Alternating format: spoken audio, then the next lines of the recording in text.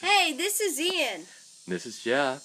and today we're working on the Weber DGV carburetor. All right, let's take a few things off of it first, Ian, so we can talk about it. All right? Okay. Go.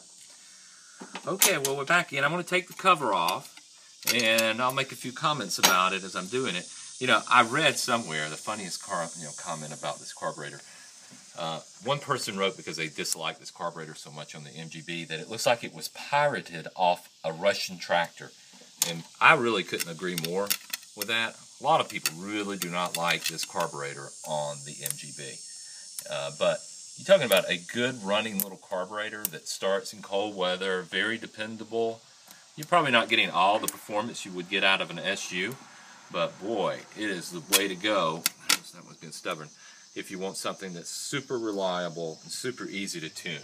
And that's really what I'm going to talk about today is uh, how to tune it and how to uh, maintain the carburetor. So let me take a few more pieces off and we'll come back. Thanks. Bye. Okay, well I've got the breather off, the filter off, the assembly. Now I'm going to take the cover off it. I've got one, two, three, four, five, six screws. And then it's also attached here at the side for the choke, which in this one is a, a manual choke. And so I will do that next, and we'll be right back with you. Okay, bye. All right, so I've gotten the screws off, and I've taken, point down here, I've, uh, I've got the uh, fuel line off, put it over here where it won't leak, and now I'm ready to take the cover off, the top cover of the carburetor off.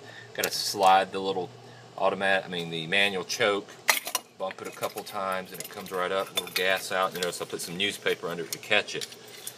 And so there it is. There's the cover off. I'll talk a few things about, uh, say a few things about the uh, cover. Under this brass screw plug, there is a filter. That filters the gas coming in. You can see here, there's a needle valve right there. Um, and you can also see the floats, how they work. So when the gas needs gas, it comes down, gas comes out. There's also something called a power control valve right here. It's this plunger looking thing. It works when the uh, you have low vacuum and it allows more gas to come in to get into the carburetor. So that's kind of the cover. Of course, this is where the manual choke attaches. You can see this one I've had a long time. It's got a lot of wear right there. I wish they had a bushing, but uh, it still works. It closes up and still works pretty pretty well. So anyway, that's the top of it. And if we look into the carburetor, we'll start talking about a few pieces in there in just a second. Okay, bye. Okay, we're back again, and we'll talk about some of the major components of the carburetor. I'll point to them. Um, you got obviously this is a fuel bowl. You can see in mine's got a little trash in the fuel, which kind of concerns me a little bit. So I'll have to clean that out.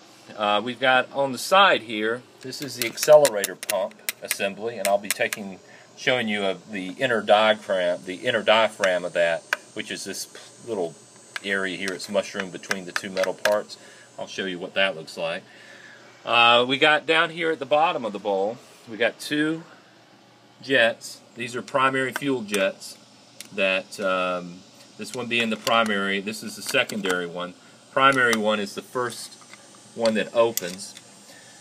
All right, and on top here we've got air corrector jets, primary, secondary, and then we have auxiliary venturis. This is the primary, this is the secondary.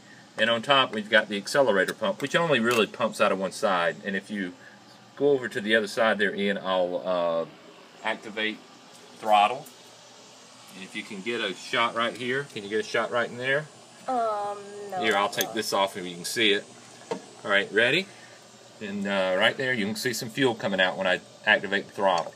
You see that? That's Okay. the that's the accelerator pump pumping out of the jet on top. So when you give it some gas, it pumps a little bit of extra gas into the top directly, so it won't stumble on acceleration.